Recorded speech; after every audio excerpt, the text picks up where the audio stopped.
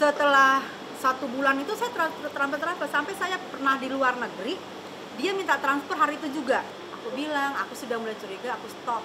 Satu bulan itu aku stop. Jadi satu bulan itu habis tuh uang aku transfer ke dia kira-kira 50 juta.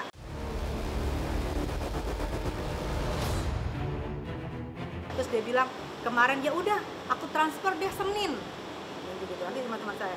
Senin dia aku transfer gitu. Saya tunggu sampai Senin. Ternyata satu sen pun tidak ada nothing nol dan dia lagi liburan di Bali Berselang 24 jam setelah Tessa Mariska membongkar praktek curang Eli Sugigi yang disebutnya telah melakukan penipuan, Eli Sugigi akhirnya angkat bicara. Artis peran dan komedian yang memulai karir sebagai koordinator penonton program-program televisi menepis semua tudingan sahabatnya itu. Menurutnya, semua hak dan kewajiban seperti yang dituangkan dalam surat kerjasama telah dipenuhi.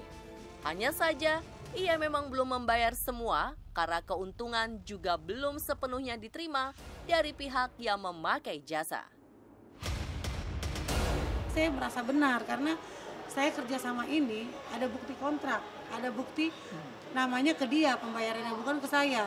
Tapi emang pembayaran itu belum cair karena waktunya itu kan saya pernah bilang kalau ini duit agak lama 4 bulan sampai 6 bulan. Dua bulan 4 sampai 6 itu paling cepat dua bulan ya. Tapi mungkin dia nunggu yang dua bulan. Saya nggak bisa dong ngejust acara langsung cepet bayar cepet bayar nanti saya di backlist. Saya bukan orang kaya. Saya bukan artis yang dibayar gede. Saya bukan saya ikhlas. Pernah tanya Ustadz Jaki sahabat saya. Saya diajak acara-acara untuk amal bakti amal sosial. Kok ikut ya untuk acara ini tapi budgetnya nggak gede. Oh saya tidak pernah nawar budget. Bagi Eli, masalah duit akan bisa diselesaikan. Namun yang membuat tangisnya pecah justru rasa malu yang tak terkira.